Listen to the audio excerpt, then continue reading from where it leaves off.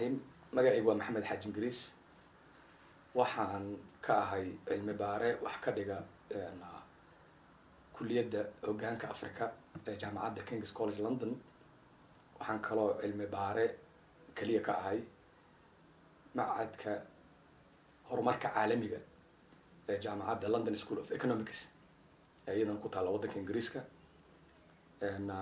Kings college iyo london school of economics ba waxaan ka dhigaa qaska iyo qalalaasaha iyo colaadda iyo qulqulatooyinka qaaradda africa ay soo martay toddobaatameeyadii sideetameeyadii sagaashameedeydii marka su'aasha koowaad aan ka jawaabayo waxay tahay ethoobia iyo soomaaliya labadaba waxaa qabsaday military regimes. Oo macnaheedu yahay talisye military. Dad badan oo soomaaliyeed oo aan tacliin lahayn regime macno kale u haystaan. Regime haddii la turjumo waa talis. Talis ma mahay macnihiisa waa waxaan ku imaan sharciyad iyo dimuqraadiyad iyo doorasho ee meel qabsada ama afgambi ha ku qabsado ama si kaleba ha u qabsado. Marka military regime ayaa soomaaliya qabsaday kun sagaal boqol lixdan iyo sagaalkii. Ethoobiana waxaa military regime uu qabsaday kun sagaal boqol toddobaatan iyo afarti sideetameeyadii marka iyo toddobaatameeyadii labada regimeba waxaa ku kacay jabhado. Kadib markii loo adkeysan waayey caburintoodii khaasatan dhiig ayay dhex dabaasheen labadaba. Dhiiggaas oo marba sanadba sanad ka dambe sii xoogeysanayay. Waxaa ku horreeyey military regimeka soomaaliya ee uu hogaaminayay maxamed siyaad barre. Military regimeka ethoobiana waxaa mar dambe qabsaday toddobaatan iyo lixdii.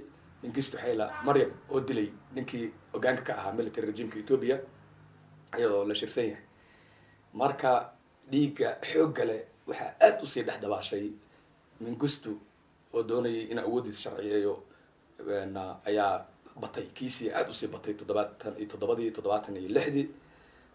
Heer la gaaray waagaa in loo daxshay kan mingistu waxa ilaa maanta loo yaqaano daraasaadka cilmibaarista africa reer terror oo ah argagixisadii guduudneyd oo loola jeeda guduudkaas dhiiggii uu daadinayay. Waayo asagaa inta public soo istaagay ayuu wuxuu tuuray dhalo. Guduudan ayuu ku tuuray banaan baxa meel uu sugu keena dad asaga laga soo dhigay inay taageersan yihiin oo loo soo baxshay meeshii taraboonka xamar sida maxamed siyaad barre dadka loogu soo bixin jiro o dhan. Ilaa iyo haddana taariikhyahanada geeska africa darse waxaa la isku haystaa. Dhalada ma dhiigaa ku jiray mise fiimtu ku soo shubay. Waxa daatay ayaa laga doodayay hataa ilaa oxford afar sano ka hor aan ka doodaynay. Waa la xaqiijin layahay marka laakiin waxaa la sameeyey museum lagu xasuusto dadkii uu gumaaday oo ethoobia terarkaas yani argagixintaas dhiiggale waxaa ka mid ahaa in guryaha habeenkii dadka lagala bixi jiray addis iyo muqdisho labadaba in dadkii toddobaatan iyo sideedii soomaaliyaba waxaa ka bilaabatay in dadka lagu tuhmayo inay jabhadaha jabhadda sodaf marka hore la oran jiray marka dambe s s d f noqotay iyo jabhadihii kale s n m u s iyo s d m iyo s b m wixii kaloo dhashay. Dadka ehelka la ama qaraabada la ama lagu tuhmay inay ku jiraan in habeenka madow lala baxo godad la geliyo ethoobiana tiyoo kale ka jirto oo la isku jir dilayay laakiin sharafta ka dhacday ethoobia soomaaliya ka dhici weysa waxay tahay ethoobia wixii keyd ahaayoo dhan oo danuubta mingistu galay ayaan la bililqaysan oo laga helay xafiisyadii dowladda maxkamadaha meelihii dadka lagu jirdilayay wixii hornaa la soo faagay. Dacwadda marka si fududay u bilaabatay oo sahlan kuna dhammaatoo la xukumay. Isagii oo maqan dibadda waddanka uga maqan kuwii la shaqaynayay wixii oo dhan. Laakiin soomaaliya dhibka dhaco waxay tahay waxaan galnay xaalad burbur iyo baaba ah oo wax dhaxla. Maxamed siyaad barre la waayey sida mingisto loo dhaxlay. Marka su'aasha taa ku xigtaa waxay tahay maxaa keenay military regimekii ethoobia in wax laga dhaxlo oo wax ka taga dhaxal ah? Kii maxamed siyaad barre ee soomaaliyana uu ka tegi waayey su'aasha cilmi baarista ee mudan inay ummadda soomaaliyeed isweydiisa waay. Markay u sinqanayso inay nabad hesho dib heshiisiin hesho dowlad hesho jawaabta su'aasha waxay tahay mingistu markuu waddanka ka baxayay wuxuu xukunka ku wareejiyey generaal ahaa sareeyo gaas oo la ohan jiray tasfaye gabre kelin laakiin muqdisho markuu ka baxayay maxamed siyaad barre ninuu xukun ku wareejiyey male for example waxaa dhacay ethoobia toddobaatan kilomitr markay soo marayaan jabhaddii xukunka kala wareegi doonta ayaa maraykanku la hadlay mingisto u sharaxeen diblomaasiyiinta maraykanka waddanku marayo iyagoo ka dhex sameeyey wadahadal asaga iyo jabhadihii asaguna ku baxo sidaasna uu yeelo. Marka mangisto de waa mentaday waa diiday sida maxamed siyaad barro kale ayuu damca inuu diido oo uu yidhaahdo ma ka baxayo dalkii waan dagaalamayaa erey caanaa jiro oo la xigto uu yiri oo ah ilaa xabadda u dambaysa waa ridaya yiri. Marka sidii ku baxay laakiin ku-xigeenkiisuu ka tegay u dhiibay meesha sharafta ulahaa taasay ahayd. Halka soomaaliya maxamed siyaad barre ay la hadleen waana qoran tahay wikileakskana waa ku jirtaa iyadoo qoraalana way taallaa dowladda talyaaniga iyo dowladda masar oo ay ka codsadeen inuu si nabadgelyo ah iyadoon dhiig magaalada dhexdeeda ku daadan xamar laysla soo gelin oo jabhadda hubaysan jabhadaha hubaysan ee soo socda aysan xamar soo gaarin. Halkaas etoobiya waxaa soo socday jabhaddii uu watay mela zanawi iyo t e lf t eritrea ee gashay asmara. Xagga xagga u kala jeestay laakiin xamar waxaa afka ku soo hayay oo waqooyi iyo koonfur ka soo galay u s c iyo s b m oo ay kala hogaaminayaan generaal maxamed faarax aidiid iyo colonel cumar axmed cumar jes marka markay la hadleen wuxuu aqbali waayey waxay ugu baaqeen. Weliba dowladda masar waxay xooggeeda isku dayday in shir dib heshiisiina laisugu tago qaahira ayay iclaamiyeen. December markii u dambeysay ayay waxay yihahdeen february nineteen ninety one ayaa jabhada jabhadaha hubaysan iyo taliska military regimeka wixii ka hara laisugu geyn doonaa. Aan isku dayaynaa inaan geyno laakiin maxayba geeyaanba? December soddonkeedii ayaa xamar xabaddu ka bilaabatay. Marka waxaa la haleeli kari waayey in la xaslado xaaladii in la xaliyo oo xasilooni lagu soo dabaalo afar isbuuc ayaa xabaddu xamar ka socotay. Soddonka december ay bilaabatay waxayna ku bilaabatay si lama filaan ah. Waa la sugayay in jabhaduhu soo geli doonaan waddanka waayo jabhaddii ay didwatay waxay soo istaagtay oo ay december bilowgeeda yimaadeen meel udhexaysa jowhar iyo balcad. Markay yimaadeen ayaa magaalada waxay bilaabeen inay soo geliyaan ciidamo unugyo ah oo hubaysan ay magaalada ku soo daadiyeen. Waxaa qoran oo safaaraduhu qoreen iyo ajnabigii kusugnaa waddanka in qalqal la geliyey diyaaraddii somalia airlines oo muqdisho ka duulaysa in la xabadiyay habeen december nineteen ninety oo la damcayado duulaysaba in xabadaha ku dhacayo dee waa dhici lahayd dhulkay ku dhici lahayd. Laakiin inay galaan ayay damceen qayb ka mid a commandoskii jabhaddaas u s c da marka magaaladii qalqal xoogla ka bilowday dadkii ay sugayaan jabhaddii inay uun soo gasho la saadaalinayo laakiin si lama filaana ayaa soddonka december hal mar waxay u dhaceen. Su'aashu waxay taha marka say ku dhaceen. Ciidanka koofi casta loo yaqaanay red parrots ee madaxtooyada waardiyeey qaaska u ah maxamed siyaad barre oo ka koobnaa jilibka hoose u dambeeya isagoo ka dhashay ayaa waxay galab ku dhaqaaqeen goor duhurkii casarka inta udhexayso suuqa weyn ee sinai ee bartamaha magaalada muqdisho. Halkaas ay waxay isku dayeen inay dhacaan ganacsatadii suuqa joogtay oo ilan ayagu ma oge qeyb xoog lehoo ka mid a haddaysan intooda badan ba ahayn ay hubaysan yihiin sambatina ay u hayaan u s markay damceen inay dhacaan ay boobeen wax ka qaateen oo ay dhexi maageen ayagoo laangurusaladoodii watay iyo hubkoodii ayaa xabaddu dhinac walba uga bilaabatay oo suuqa ah oo la xero taraaray. Dhinac walbay ka bilaabatay halkaasoo ayaguna dee waxna laayeen iyagana qayb kamida lagu laayay. Dhiigoodii waxoogi dhaawacooda ayagoo watay madaxtooye galeen si ay u warbixiyaan hogaamiyahooda. Laakiin meesha loogama harin dagaalkii dadkii waa isabaabulenji dadkii xireen. Ilaa hotel damey ayay soo gaartay iyo meeshaan loo yaqaan veranza squiskan madaxtooye dhinaceeda kale. fifteen may markaa gelayso saasaa kacdoonkii xamar uga bilowday. Kadibna shacbigii oo kacay habeenkii oo dhan xabada socdeen ciidan koofi casta madaxtooyada ku noqdo soo abaabulay ciidan badan oo kale ay ku yimaadeen. Guutada labaataangeeda soo baxeen ciidamo kaleo hareeraha magaalada u joogay taliska ay soo baxeen in magaaladii laysku cunay noqoto marka. Dagaalkaas oo sii laba xoogeystay dadkuna aada ugu dhibaatooday.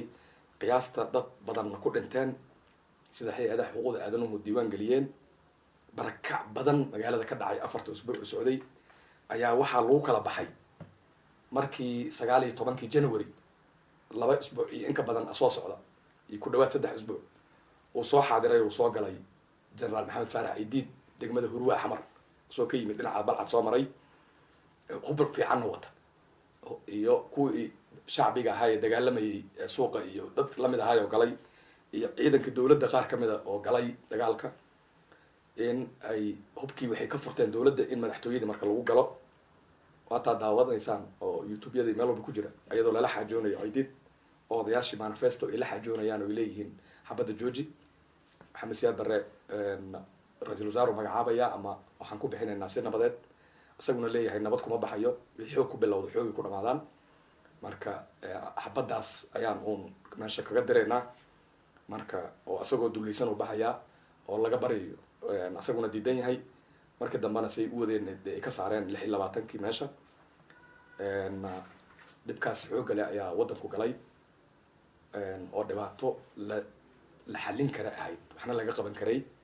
Haddaanay noqon lahayn xukun jacayl iyo kursi isku dhajis.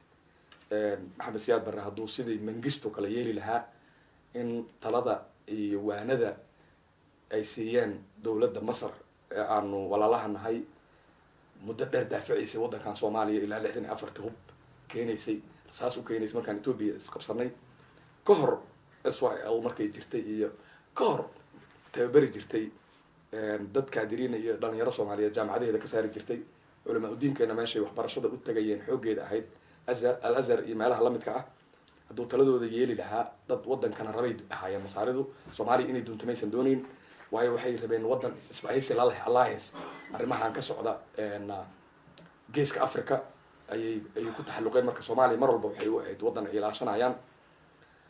Marka sidii markay dhacday ayaa la awoodi waayey in xukunka la wareejiyo. Ayaa waddanku markaa galay burbur dowladeed oo wax ka dambeeyey maxamed siyaad barre ilaa maanta oo dowladnimo sax ah ilaa maanta aan lahayn. Waayo weberian systemka dowladnimada lagu qiimeeyo qaabka adduunyada ku qiimeyso dowladii waa in xuduudaheedu u xiran yihiin. Dowladii waa inay shacbiga siin karto. Security provision waxa la yihahdo ammaan inay geliso oo ay ammaan geliso. Marka oo ay ammaan sugi karto oo dadka iyo waddanka iyo la xasilin karo at least wax nabadgelya ah lagu soo rogi karo. Inkastoo dee waddanku wixii toddobaad toddobadii ka dambeeyayba amnigiis iska xumaaday. Marka waxaaba la garan la laheli la-yahay ilaa maalinta maanta ah. Dowlad waddankii oo dhan isku wada hayso oo oo waddankii oo dhan gacanta ku wada hayso. Marka dhibaatadaasaa dhacday. Waxaa ay ahayd in xukunka uu la raadiyo ciddii uu ku wareejin lahaa. Inuusan kala baqaylin kala xasdin in ninka jabhadda hogaaminayo ah aydid uu ay wada hadlaan oo odayaashaan intay dhexdhexaadiyaan. Intuusan cararin habeenkii markuu cararayo inuu la hadlo uu yihahdo kaala madaxtooye soo gal. Ana waa ka baxaya maqrib uu baxay moogtaa labaatan iyo lixdii january oo cararay uu taangi ku baxay t fifty five sida washington post iyo kulli jaraaidka caalamka waagaa ay report gareeyeen marka inuu yihahdo kaalay meeshii la wareeg adiga qabso meeshii laakiin mausan samayn. Raganimada ma yeelan. Waa cararay ay diidkana dee madaxtooye oo la soo galayo dadkii ay ballaqaysanayaan ayuu dul yimid. Iyo raadi muqdisho isagiyaaba loo diiday inuu raadi muqdisho ka hadlo. Waayo u s c du siday u abaabulnayda wuxuu ahaa iyo jabhaduhuba qaybo ka badan oo ka mid ah qaab qabiil qabiil. Ayay xamar uga dhex dirirayeen markay soo galeen qabiil hebel intaa tag intaa tag waayo wax organized ah ma ahayn. Resourcigii iyo hantidii iyo wixii isu isku organize garayn lahaayeen sida jabhadahan ethoopia iyo eritrea iyo rwanda iyo liberia iyo sierra iyo ivory coast meelihii jabhaduhu ka kaceen o dhan ijaad ma jirin soomaaliya sababtay u jirin waxay tahay jabhadahaas dhulkay qabsadaan ayay canshuur dadka ka qaadayeen mogta u s da dhulkay soo qabsata canshuur kama qaadayn waa iska soo waa iska soo socotay. Iyo s b m intaba iyo snm xataa markay waqooyi gashay canshuur dad kama qaadayn wixii dadkooda diasporada ay siiyaan ay cunayeen khaasatan snm iyo s s d f. U s c dana waxay heshaa waxay ahayd ganacsatada xamar joogta waxay ay siiyaan yani meeshaasaa economic resourcegooda ka imaanayay. Marka saa markay dhacday uu meesha ka baxay maxamed siyaad wuxuu kaloo awoodi karay in sida maaldhowd aan tilmaamay uu u yeero generaal maxamed ibrahim maxamed liiliqato oo ahaa ninkii asaga ku-xigeenka u ahaa lixdan iyo sagaal markuu meesha qabsanayo waxaa ku-xigeen waagaa u ahaa markuu taliyaha ciidamada yahay ee uu waddanka inqilaabayo laba nin ko taliya ku-xigeenka koowaad wuxuu ahaa generaal maxamed ceynaasho guuleed taliya ku-xigeenka labaadna wuxuu ahaa generaal maxamed ibrahim maxamed liiliqato labadaa nin waxay isku ahaayeen isku group groupka ciidamada sideedda qof ka koobnaa booliiska loo tababaray kun sagaal boqol konton iyo labadii talyaani loo qaaday ee konton iyo afartii la soo celiyey ee lagu aasaasay booliiska soomaaliyeed talyaanigu ku sameeyey iyo maamulka afis ee u n two korka naga ilaalinayay ayay sideedooda iskula jireen. Iyo jenaraal maxamed abshir iyo xuseen kulmiye iyo ya iyo maxamed bin kamiis nin la ohan jiray iyo cabdalla cali maxamed. Marka sideed nin ay ahaayeen marka waxaa dhacday umus caynaashe wuxuu dilay marka toddobaatan iyo labadii power struggle ka dhex bilowday xubnihiisii loogu yeeri jiray golaha sare. Marka ma noola caynaashihii ku-xigeenka koowaad ahaa ee asaga bedeli lahaa mana joogo ku waagaasuu dilay uu dhintay. Waxaa nool oo gurigiisa oo ku yaalla kilometer five daartan zoobe ka soo horjeedkeeda markaa gasho gurigiisaa ku yaalla janaali liqato meeshaasuu fadhiyaa. Dabaqa uu degan yahay ku dhex jiraa. Inuu u yeeray aheyd oo uu yiraahdo baba isku xumeen oo jabhadba ma gelin muqtari liqato waa iska joogi. Mar dhexe wasiir beerahu ka dhigay toddobaatan afartii sideetan labadii markuu ismaaciil caloba kor xiray wuxuu ka dhigay guddoomiyaha baarlamaanka gacantiisu ku qoranayay mar waxbuu noqonaya mugta mar dambe laakin waa ka qaaday itinaanki xuseen kulmiyaa jooga baarlamaankiisi marka nin benshana oo gurigiisa iska joogo aritair ah inuu intuu yeero u yihahdo adaa taliya ku-xigeenka xoogga dalka ahaa. Igala wareeg kaala madaxtooye soo gal. Qabso oo joog meeshii hagaaji. Ayay ahayd. De waxaad haddii loo fakerayo sida ciidamadu u fakeraan perspectiveka ciidanka ciidanku wuxuu leeyahay hierarchical system oo ku kala dambeeyo discipline inkastoo disciplineka lumay waaga laakiin at least wax saraakiisha sare ay xirinayaana jira markii xaaladda hataa hadday noqoto ay ay meesha ka baxdo low an orderka. Marka nayl liqatoo joogo aidiid waxaa loo ahaa taliya liq liqataa u ah. Marka ciidan perspectivekooda haddii la cabiro dee wuxuu oran karay istaagoo fariiso. Ya wuu qaban karay taliyihiisuu ahaa waa joojin karay guddi wuxuu magacaaban karay liqato xaalad deg deg ah oo cidiidku baa ku jira hadduu raba ijaas iyo ka kooban wixii jabhadaha militariga ah iyo wixii benshino guryahooda joogo ya oo ciidan ah sida doonyaale iyo saraakiishii hore cidiid yaqaanay iyo jasba ay yaqaaneen oo saraakiishii waddankan lagu asaasay ciidanka qaar ka sii joogeen galaal iyo neero iyo wixii aan xukunka maxamed siyaad markaa ku hore ugu jir jira laakiin hadda banaanka ka taagana loo isugu yeeri karay military ayaa lagu meesha lagu samayn karay si kubeel gaar ah. Ya xukunka u sii hayo dhowr bilood inta xaaladda laga xaslanayo oo laga qaboojinayo. Laakiin waxa yaab ahaa mingistu ethoobia waa isaga tegay diyaarada uu qaatay isagii familigiisii madaxweynaha zimbabwe xilligaas robert mugabe ayuu weydiistay maangelyo maxamed siyaad halkii uu ka bixi lahaa qoyskiisana ka wadan lahaa. Kismaayuu tagay haddana gadow fariistay wuxuu noqday nin meeshaa ka soo dagaalgelaya oo leh xamaraan ku noqonayaa dibaan u qabsanayaa. Wuxuu sameeyey two attempts. Waa dad waa la wada ogyahay africa confidential indian ocean newsletter iyo kulli waa ku qoran tahay ya? Jaraa-idka monitor africa o dhan. Laba jeer u damcay inuu muqdisho dib u soo weeraro ya? Dadkuna dee xasuusanayaan. Ko waxay ahayd april nineteen ninety one markuu ka maqan yahay laba bil iyo bar xamar ayuu soo weeraray muqdisho. Ciidankiisu soo dhawaaday waxay yimaadeen meel loo yaqaano carbiska carbiska ayaa waxaa ka dhacay dagaal halaag ah oo ay aad iyo aad laysugu gumaaday ilaan ciidanmo uu u soo diray inay magaalada qabsadaan isagu ma soo horkacin. Weligiis ma horkaci jirin ciidanka laakiin waa soo diri jiray. Ayay meeshaa isku heleen iyo ciidamadii ay diid watay. Maana la jabiyey. Dib u laabteen. Haddana nineteen ninety two april sanad kadib ayuu ciidankii dib u soo abaabulay inay xamar qabtaan. Haddaad fiirisid as a geographically ku fiirisid waxaa is leedahay mar walba ciidankan wuxuu soo dirayay si isku mid a labada jeer waqtiga isagay aadan yihiin. Marka roobabku intaysan bilaaban ka hor roobku soo dhawaya guga ama bilowday. April ay bilaabdaan soomaha roobka soomaaliya xilliga guga. Ya april ayuu soo dirayay. Marka koowaad nineteen ninety one april uu ciidanka soo diray ciidanka la jabiyey sidii u waday aidiidku twenty eight april wuxuu furtay kismaayo. Saas iyo saas u soo kala galeen. Qayb beendhabo ka timid qayb kismaayo ka timid.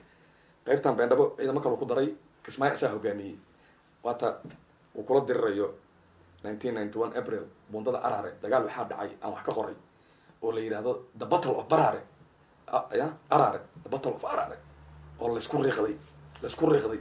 Youtube-kan hadda waa ku jiraa waxaa ugu weyn oo laysugu riiqdana wuxuu ahaa ciidamadii al-itixaad ayaa kismaayo joogay wax ka joogay xasan daaraweys iyo ka mid yihiin oo laga wareysan karaa. Ciidamadaas ayaa aydiid kula xaajooday inay ka horwareegaan waxa uu socdo uu raadinaya inay tahay haraadigii maxamed siyaad barre waxa ugu yeeri jiray the rembrandts of the siyaad barre regime. Taliska maxamed siyaad barre wixii iyo maleeshiya ka haray wixii aan asaga isu dhiibayn oo la dagaalamay wixii isu dhiiba waa aqbalay. Hadday la dagaalgalayaan hore u sii raacayaan qabiil walbay noqdaan waa sii wadanaya laakiin wixii ka hor yimaado uu soo qabsanay mana maxkamadeynayn xataa. Dad badan oo meesha ku qabta kismaayo maxkamada ma saarayn sida e b d f t b l f ay sameeyeen. Iyo sida rwanda laga sameeyey ninkii dagaal lagu qabto soo dagaalamay ma sameynin asaga hala ii geeya xamar hala geeya u dhahay. Waatuu afar boqol oo ciidan gedo ku soo qabtana intuugu xamar keenay. A c r c riboradeeda dhan ku qorta boga jac maxamed qalib nuu ku noodgaray afar boqol oo askari maxamed saabar u dagaalamayso xamar keenay si ay dhiida xamar ku soo xiray. Marka dambana dariiqu ku sii daa iska baxo yiri boga jac maxamed qalib iyay ku qoran tahay iyo human right watch iyo waa qorayaan ya i think xuseen cali ducaal cawil hataa in wax ka qoray nairobi u fadhiyay markaas. Markay saa dhacday marka meesha la tegay maxamed siyaadkii dagaalamaya weli gada joogo nineteen ninety two april ayuu duulaankii u dambeeyey soo qaaday. Oo kama dambaysta ahaa intaasba wuxuu doonayaa inuu xamar dib u fariisto u qabsado. Mingistu wuxuu ku fadhiyaa harare uu iskaga raaxaysanayo villa uu siin mugabe u dhex degaya waa ka baxay siyaasaddii dowladda zimbabwe waxay kula heshiisay ethoobia inaa faragelin halkaana kaga duulin adigana wixii ku soo duulay anaga kaa celinin. Nabadgelyada meesha ku jooga u qoran ay kala qorteen. Sidii uu marka ku joogay siyaasadda ethoobia ma gelayn? Duulaankii maxamed siyaad markuu soo qaaday wuxuu soo fariistay magaalada baydhabo. Magaalada baydhabo ayaa waxaa ugu tegay nin documentary sameynayay. Ya ninka documentaryga meesha ninka geeyey oo soomaali ah waa joogaa xamar joogaa iyo meelahan. Xamar un ka shaqeynayo waagi dhaweed ilaa hadda dhow. Nin la yaqaano weeye oo ahaa kusimaha safiirka soomaaliya ee london nin wax na qorqorana waaya ninkaas ayaa baydhabo ugu geeyey waxayna ka soo duubeen video. Laakiin videogii aniga ma aragay waxaan arkay inaan ninkii raadiyay noqon haddii videoga loo baahanya oo laga doone qoraalkii ninka qoray oo uu ku soo koobo waraysi u ka qaaday ayaa ii yaalla wuxuuna ku qoran yahay ciddi raadsanaysa wuxuu ku qoran journal of anglo somali society cadadkii soo baxay nineteen ninety two. Autumn autumn springay soo saaraan yani xilliga guga xilliga deerta. Kan deerta soo baxaa laga fiirin karaa wuxuuna yaalaa jaamacadda london. School of oriental and african studies. Jaamacadda london la weydiisan karaa nineteen ninety two issuega ahaa meeshu ku qoran tahay iyadoo dhowr bija marka wuxuu leeyahay ka bilaabo warbixinta. Maxamed siyaad barre oo gabar yar ku guursada meeshaan u tagay. Wuxuu degan yahay hotel uu leeyahay ninkii hotelka lahaa u tilmaamay. Ya. Ninka hotelka uu sheegayo magaciisa waa sheegay xamaraan isku aragnin anagaa qaraabana adeer ugu adeeya in caanu la yaqaano reer baydhabo dhan waa yaqaanaan. Daahir bakin hotel bakin uu degan yiri oo uu xoog ku haysto yiri xoog ku degan yiri ninka laa waa cararay xamar uu cararay daahir bakin waa jooga hadda xamar uu degan yahay waa la soo wareysan karaa. Hotelkaas degan yahay si wixii staafkiisa ah. Hotelka meel ka soo horjeeda waxaa degan oo asaga la dagaalaya oo ninka gaalka a qoray generaal gani oo taliyihii ciidanka isaga uu ahaa marka horena waqooyi ninkii ku bilaabay inuu ku soo galgasho ahaa ayaa jooga waa iskhilaafsan yihiin marka gani iyo isagii yaaba loolamayaba oo ya waxay isku haystaan awoodda iyo waa xamar loo tagaa iyo waa la tagaa iyo isku haynayaan waxaa reportkaasaan ka aqriyo ninka qoray marka meeshuu duulaan ciidan ka soo diray cajaladna u soo dhiibay usbuubay cajaladaas uu leeyahay markaad xamar qabsataan raadiya ka sii daaya oo cajalada wuxuu ku duubaa uu leeyahay dibaan u soo galay xukunkii ugu soo noqday magaaladii gacantaan ku haynaa dadkii marka ogaada waa ku soo laabtay waa joogaa. Cajaladii waxaa lagu qabtay mukayga afgoy meel la yidhaha ayay ku soo qabteen cajaladii markay ciidankii meesha ku jabiyeen. Markaan dambe mukayga dagaalka dambe ka dhacay nineteen ninety two april. Marka abaabulkaasuu galay buuraha kaba dhib gala ku qabsaday oo ya aydiidku markuu duulaanka soo qaadayay. Markaan labaad wuxuu damcay maxamed siyaabar inuu qabto. Waayo kuwa diblomaasiyiina waxay ku yidhaahdeen sida keliya waddankan madaxweyne uga noqon karto waa inaad maxamed siyaad bara gacanta ku qabato isaga haddaadan hayn cali mahdi dee madaxweyne waa iska sheeganaya isaguna adiguna dee ninka soo jabhadayaa taa sida mele zanawi iyo museveni marka meeshaan madaxweyne kama noqonaysa qaba maxamed siyaad barre dhehen marka meeshiyuu dagaal ciidankan mukayga fadhiya inta fiiriyay oo ka leexday ciidan yar u diray wuxuu yidhi si wax yar isa sii haysta. Intuu ka leexday ayuu wallaweyn korkeeda ka soo dhacay. Halkaasuu baydhabo ka soo galay. Waa og yihiin oo waa qoran tahay si dariqiya ku baxsada maxamed baydhabo ku qaban gaaray waa ceyrsanayay ilaa iyo waa ceyrsanayay meeshuu galaba. Ka dabagalo ilaa xuduudka kenya u ka saaro. Waa burinaya inuu qabto doonaya. Soo madaxweyne u noqdo mugta oo ninkaan sidii jabhadihii kale u rabay inuu meeshaan qabsado.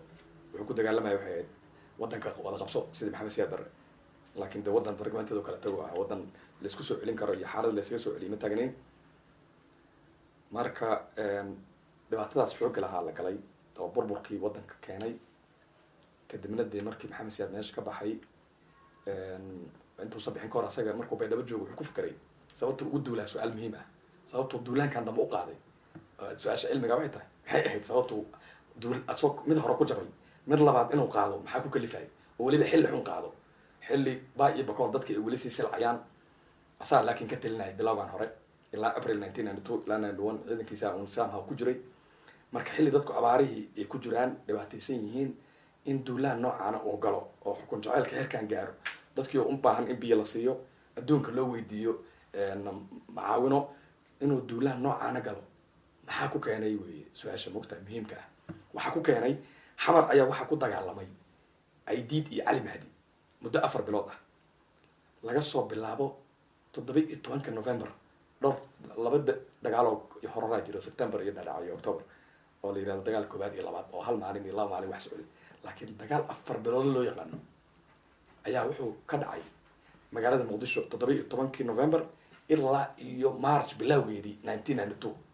December january february march waa lasist dagaalkaas ayuu wuxuu maxamed siyaad ku fekeray in ay diid iyo calimahdi labadaba isku dul daciifeen oo ay ciidankoodii meeshaas uu ku baaba-ay marka ciidan awoodaada celin kara magaalada muqdisho ma jooga ayuu aaminay ee gal ciidankan oo qabiila ayuu isku soo aruursada marka oo ya magaaladu ku soo da'ay afgooya tago yiri ciidan alreer ah marka ay diidka keligiis iyadoo cali mahdi ku jirin iyo ciidankiisi waa ka soo dhaqa hadda aan tilmaamay ka wareegay munkayga halkaa ka soo galay wallaweyn kor kaga soo dhaci doono marka taasay ahayd waatuu day soo baxay maxamed siyaad wuxuu yimi halkan nairobi hotel ku yaallo dega meelahan. Kadibna dee madaxweyne daniel aramoy oo kenya xukumayay sida jaraadka kenya hadda ku qoran. Cidda stadi samaynayso xilligaas waxay dhacay rabto inay wax ka qorto b h d ka diyaarayso ardaydeyda iyo wixii aan u sheegi lahaa waaye wixii ka wixii darsaya xilligaas. Meesha ay resource ka raadinayaan primary sources. Wixii dhacay meeshay ka arkayaan. Maxamed siyaad markuu ya xuduudka ka soo gudbay. Wixii ka dambeeyey wixii dhacay intuu joogay nairobi. Dee ardaydeyda oo kale waxaan u diraa oo leeyahay taga kenya national archive safiriya daily nation waxay qoraayeen journalka east african studies ya standard kuwaasaa qoraya moogtahay. Waxay waxay qoraayeen maalin walba waxa dhacayo oo maxamed siyaad iyo moy iyo dhex marayo moy marka wuxuu sameeyey wuxuu warqad u qoray uu la xiriiray saa wuxuu ahaa wuxuu la xiriiray madaxii african organization of african union xilligaas haystay oo joogay nigeria ibrahim babagida hogaamiyihii military regimeka nigeria la xiriiray uu yidhi adaada africa hadda u ah sanadkan leader. Sanad walba de waa nin waatay dooran jireen. Marka qabo maxamed saad laftirkiisa waatuu noqday organization of african union nineteen seventy four xamar lagu doortay. Marka ibrahim babagida uu yidhi ninkaan niga wad. Waddanka nigeria ku magangeli ogaada moy u ahaa. Ninkii u dalbay magangeliyada marka moy waa soo aqbalay ibrahim babangida wuxuuna u soo diray diyaarad. Halkaasoo diyaaradii dee dad fara badan oo laba boqol ku dhadhow diyaarad weyn u soo diray air puland oo not only qoyskiisa aan isugu jirin isugu jiro kuwii la shaqaynayey kuwii ilmihiisii gabdhihiisa qabay wixii oo dhan oo isku dardar qaar ka mid oo badan in badan ilmihiis waa maqan yihiin qaar ka mid a laakiin wax taliyaal ahaa iyo wax ka hoos shaqaynayay iyo wax agtiisa ku haray iyo wax nairobi ka sii raacay iyo waatan la soo geeyay lagos laakiin marka dambe dowladda nigeria ay screening ku sameeyeen oo ay kala kala kala shakuleen kala saar saareen waa shaandheeyeen marka isagii in yaroo kooban ay soo reebteen in badan oo kamidana meesha waa ka tagtay. Waa isaga tageen isaga iyo in yaroo la joogtaa ku haray iyo wiilkiisii. Ninka keliya oo meeshaa ku soo arkay intuu noolaa oo maanta nool oo laga wareysan karo oo aan ku maqlay inuu london joogo waa yuusuf cumar alazari oo safiir ahaan jiray. Maxamed siyaad ka hor dad ku xirana ku jiray ayaa ugu tagay nineteen ninety three lagos. Ninkaas ayaa isu aragkeen oo booqday. Marka waxaa waraystay wargeyska himilo oo aniga aan ka tirsanaa ayaa waxay waraysteen labada kun. Afyare professor afyare cabdi cilmi taftarka ah journaalka afyara waraystay. Azari anigna journaalkan ka tirsanaa waa aqriyay waraysigii waxaa ku qornayd inuu u tegay asoo tusbax wato banaanka gurigiisa fadhiya meeshuu deganaa uuna ku yiri qalad ayaad igu xirtay gardaraan kugu xirnaa marka laakiin dembiga adiga gashay waa kaa cafiyey oo maxamed siyaadna ooyey oo uu yiri caawa si fiican aan u hurdi doonaa ma hurdi jirin awal laakiin caawa hurdo wanaagsan ayaan hurdi doonaa isagoo xusuusanaya dulmigii iyo dhibaatadii geystay qayb ka mid a waxaa hurdada u diidan ay tahay marka dee qof waa toobad keeni karaa ilaahayna waa u soo noqon karaa tusbax watay marka waxaan rajeynaynaa bal in aaqirkii u dambeeyey uuba ka toobad keenay wixii dhib dhacay wixii dambi ah kale dee ilaahay iyo isagay u taallaa ummadda soomaalida dee marka u dambeyso waxa ay noqon doontaa in la iscafiyo laakiin la xasuusto wixii dhacay si aysan noogu soo noqon. Oo waxaan isticmaali doonaa falsafad cusub oo ah forgive but never forget. Cafiya laakiin marnaba ha iloobina wixii dhacay in la iscafiyo waa muhiim. Ummad haddaysan iscafin isu sabrin isu dulqaadan dee ma dhalanayso dadnimo ma yeelanayso. Marka waxa aan uga sheekeynayno waxaan o dhan waxay tahay waa inaan cashar ka barano aan ka hadlayo waa wax cilmi ah cilmiga taariikhda oo la derso africa o dhan la derso angola la dersaayo burundi wixii ka dhacay la dersaayo laguna dul xalinayo dee annaga welidankeenu weliba yahay wadan dhibaatana si haysata dhibaatada annagana haysata africa gooniyan annagii south sudanba oo structureka qabiilkeena wuxuu yahay segmentary mid maanta dhan soconayo degayo hal meel aan istaagayn sii soconayo sii soconayo ilaa isdagaalayaan laba bahood qoryaa isku qaadanayaan. Marka ummad annagoo kale ah fiiro gooniyay u baahan tahay sida loo xalin lahaa. Dad qubarar saray ayaa loo baahan yahay wixii galo oo qiimeeyo galo. Waxa ay xallin karaan farmaajo iyo xasan cali khayre iyo oo aanba garanayn mushkiladuba waxay tahay. Iyo waxa la isku dilayba aan la socon ma aha. Qof qofkii wax garada mutacalina waa garan karaa inaysan meelna geyneyn marka saasay ku soo dhamaatay soomaaliya. Kadib de waa dha waxay dhacay waxay ahayd in kooxa kooxo loogu diro xukunka qabqable la soo baxaan. Marka dambe ay diidkii meesha lagu dilo maraykankii soo galo nineteen ninety two abaara dhacaan. Consequencey ka dhashay ahayd waxaasoo dhan iyo dhibaatadii dhacday. Iska socotay iska socota marka dambe. Marka ilaa maantadan aanan awoodi karin inaan baddeena ilaashano beriga soomaaliya aan ilaa ilaalino. Dowladihii darisku ayna damaciyeen waxaan markaba is leedahay. Ilaahay wuxuu wax ka wato ayay tahay. Waddan saan u burburay soddon sano kala qaybsanaa sida adduunka taarikhdiisa aan ku soo aragnay waddan hadduu saan u burburo yani iscuna dhexdiisa dowladaha dariskiisa aqabsan jiro kala qaybsan jiray. Annaga waa inaan ogaanaa soddonkaas sano goobaha caalamiga international forumka o dhan adduunka isugu imaaday u n ta ka soo bilow. Waxaana daafacayay waddamada carabta jaamacadda carabta. Ayaa waxay mar walba ku celcelin jireen haddaa aqriso waxaasoo dhan aqriya waxay statementii ka soo baxay adduunka. Mar walba waxay ku celcelinayeen. Qarannimada soomaaliya yani waa wax secret ah oo aan la faragelin karin. Ayadoo qaran jirin waxay leeyihiin soomaaliya waa lama taabtaan wax noocaas ay dhahayeen territorial integrityga soomaaliya. Ya waa in la ilaaliyaa la xafidaa ay leeyihiin. Ma garad? Marka taas waxay noo keentay in ay nagu soo degdegi waayaan ethoopia iyo kenya inkastoo hadda nagu degdegeen yani inay dhulkeeni qaabe kamida sheegtaan ay dhacday badeeni wixii oo dhanba marka waxaasoo dhan waxay ahaayeen de burburka qarannimo nagu dhacay laga maarmaana ay tahay inaan maanta sidii aanu dib ugu dhalan lahayn ka wada tashano waxaan maanta dhacayo qof walba u jeedaa inuu meelna geynin afar sanaa la doortay saddex sanaa la maraa wax lahaay male police forces lama dhisin dowladnima intee laga bilaabaa. Bal haltaa su'aal hala weydiiyo farbaajo xasan khayr inta loo tago hal su'aal kaliya hala weydiiyo dowlad marka la dhisayo oo waddan burburo. Ama ba dowlad ba adduunka meel walba laga sameynayo haddaysan bajirin xataa meel cusub oo badda ku taalla haddii carraa ku shubato oo ay dhul noqoto. Ko intee ka bilaabay dowladnimo su'aashaasaa cilmi ah bal hala weydiya ka jawaaba mana ka jawaabi karaan. Intaasaan ku soo koobaya waa mahadsantiin